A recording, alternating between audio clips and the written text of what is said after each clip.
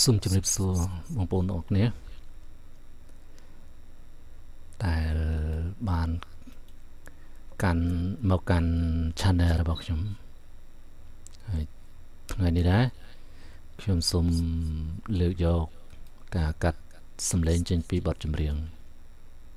ដោយប្រើកម្មវិធី Audacity ហើយខ្ញុំសូមបើកវា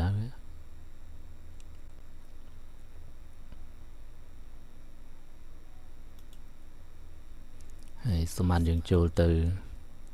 import យក audio ហើយខ្ញុំមាន block folder របស់ខ្ញុំរួចហើយដូច្នេះខ្ញុំសូមរើសបទមួយ07នេះសុកពិសី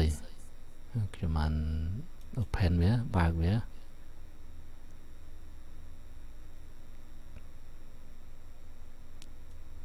ការកាត់ សំឡេងនេះដែរដោយបទចម្រៀងបទចម្រៀងខ្លះកាត់អត់បាន50%ទេប៉ុន្តែបទចម្រៀងខ្លះកាត់បានដល់ទៅ98%នោះហើយខ្ញុំសូមបានចាក់វាព្រឹងស្ដាប់វាបងសំបែកបែកលែងត្រឡប់វិញស្មានខំលួងចិត្តស្រីកុំអោយត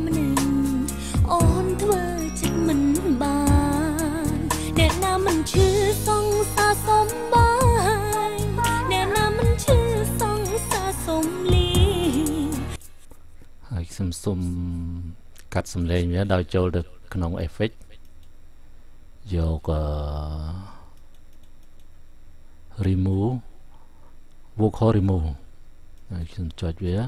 ហើយនៅកន្លែងនេះយើងយកដាក់ថា remove vocal ហើយកន្លែងនេះ គឺយើងដាក់ធម្មតាទៅ simple ហ្នឹង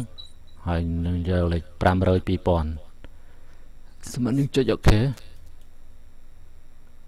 វាបំលែងហើយហើយស្មានស្ដាប់ជាមួយខ្ញុំតើវាមានសំឡេងទៀតឬក៏អត់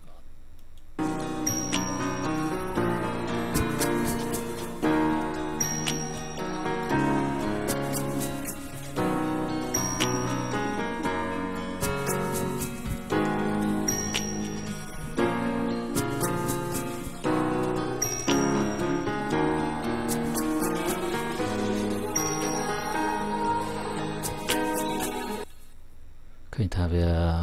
បាត់សំឡេង98%មែនហើយសូមជាផងដែរដែលបងប្អូន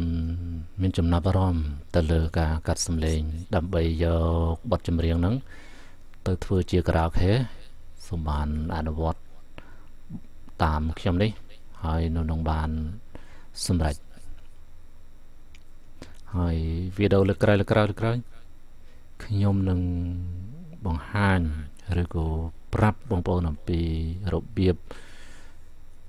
ថាតើត្រូវយកបទចម្រៀងដែលកាត់ហើយដាក់ក្រៅអូខេនៅកម្មវិធីណានោះខ្ញុំនឹងប្រាប់បងប្អូនអំពីរបៀបបែបនេះហើយថ្ងៃនេះខ្ញុំសូមអរគុណដែលបានទស្សនាវីដេអូរបស់ខ្ញុំ ជាពិសេសសូមបានបងប្អូនចុចទៅលើ Subscribe នៅខាងក្រោមវីដេអូរបស់ខ្ញុំ នោះបងប្អូននឹងបានឃើញនៅអ្វីថ្មីថ្មីដែលខ្ញុំនឹងអាប់ឡូតនៅលើ Channel របស់ខ្ញុំ